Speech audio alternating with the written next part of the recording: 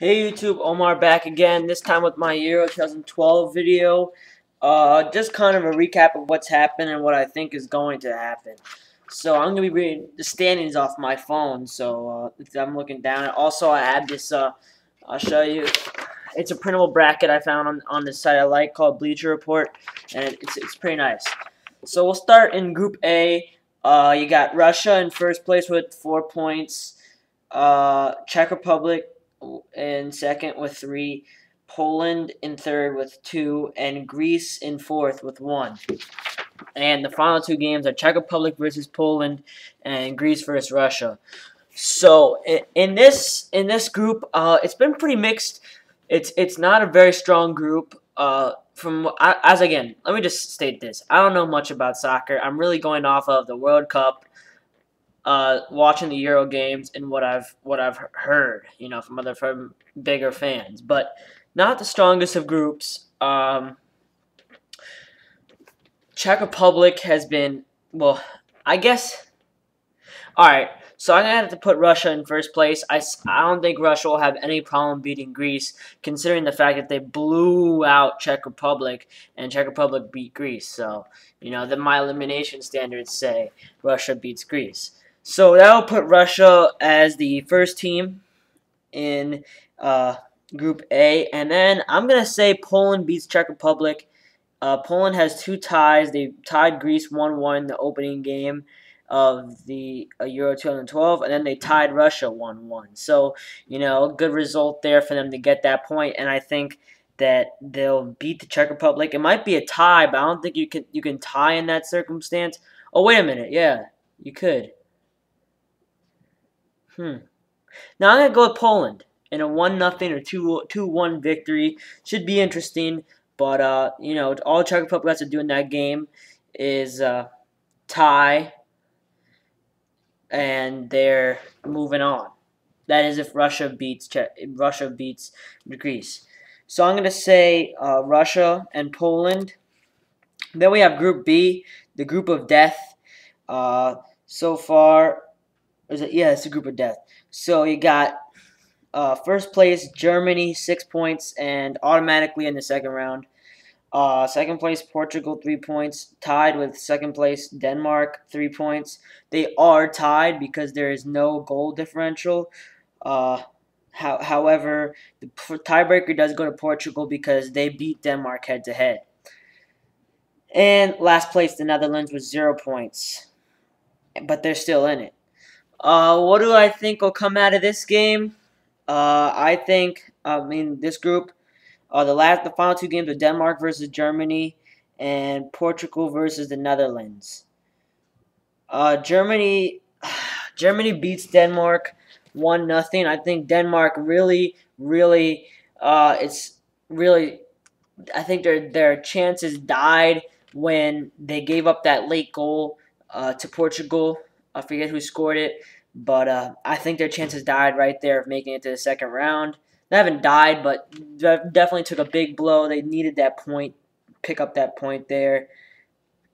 Uh, so I'm going to say Germany beats Denmark, and Germany wins the group uh, with a perfect 3 0 record. And then I'm going to say Portugal beats the Netherlands because the Netherlands have just looked terrible so far in this tournament. I mean, maybe the Netherlands pull a point, but even if they pull a point, uh, the Netherlands will not will not be in it. They have to win the game and get a good goal differential. But yeah, so I'm gonna say Germany and Portugal advance in in the order that it's in right now, uh, which would mean in the first round, and the top of the, the, the uh, the round of eight, so we'll just call it the Elite Eight. The Elite Eight in the top of the bracket, we got the winner of Group A, I picked Russia versus runner-up Group B. I got Portugal. I'm gonna take Portugal. I think Group B's number two. Group B's uh, B team is definitely better than Group A's A team, and I'm gonna say Portugal gets into the uh, the semifinal in Donetsk. Donetsk, Donetsk, I don't even know. I'm not even try. And then the winner of Group B versus runner-up Group A. So that would be in my picks Poland taking on uh, Germany, that's not even a contest. Germany kills them and moves on to the semifinals. Okay, so now Group C, we have Germany in first place with, I mean, no, Group C, Spain in first place with four points, Croatia in second place with four points. Uh, and Spain and Croatia have not played, but the tiebreaker is that Spain has a better goal differential. Uh, Italy, second, third place, two points. Ireland, last place, uh, zero points, and they are eliminated. What can you say? Ireland, terrible uh, gave up seven goals, and to that, Italy's got to be happy that they picked up two ties. In fact, Italy should have picked up a win, but they're okay because they picked up two ties, and I think they'll pick up a win and get five, salvage five points from this group. Uh, Spain and Croatia, I see a tie there, um, so that they'll all have five points at the end of the day. Um, and Italy tie with both Spain and Croatia. Uh, so, oof, where are the tiebreakers going to be? Um, with the goal differential, though, I'm going to say Italy wins 3 to 1. But, oh, man. So I'm going to take Spain and Italy. Spain, number one, Italy, number two, in Group C. Moving on to Group D, uh, which hasn't, you know, been that action-packed. You got Ukraine, three points. England, one point. France, one point. Sweden, zero points. Sweden, uh, from what I hear, is garbage. Uh, sorry for any Swedes out there that are watching this video. I, I really highly doubt it, but if you are, I'm sorry, but it doesn't seem like your team is too good. Uh, which makes me wonder if Ukraine's even that good because Ukraine won against Sweden only 2 to 1. France and England tied. So I'm going to go ahead and say uh, France beats Ukraine, England beats Sweden, England beats Ukraine, and France beats Sweden. And it's France. Uh, give me England in first place and France in second place. They're tied right now. But uh, yeah, whatever.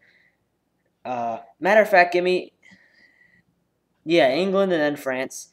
So then in the bottom we got winner of Group C, Spain taking on runner-up in Group D, uh, France. I say Spain wins.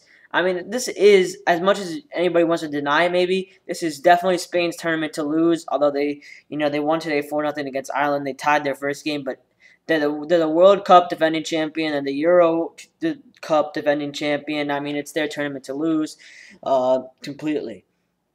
So I'm to say Spain makes it to the semifinals and sets themselves up for a game against Portugal. And then we got the winner of Group D, uh, England, taking on the runner-up in Group C, uh, Italy. I'm going to say Italy wins that one.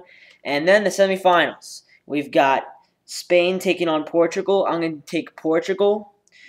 I mean, I'm going to take Spain, Spain. And then we got Germany taking on uh, Italy. And I'm going to take Germany. So Germany and Spain in the final. And you guys maybe weren't expecting this, but I'm going to take Germany to win it all. Uh, from what I've seen, they were good in the World Cup. They're good now. I mean, they're they're, they're a good team, solid team, two and zero, oh, and I don't expect them to lose a game in this entire tournament. So anyway, that's my uh, very uneducated uh, video on the Euro 2012. You know, comment with your thoughts. Maybe you think I'm crazy. I maybe I am crazy. Who knows? But I want to hear what you guys think about what will go down in what has been an exciting tournament already. Okay, guys. See you later.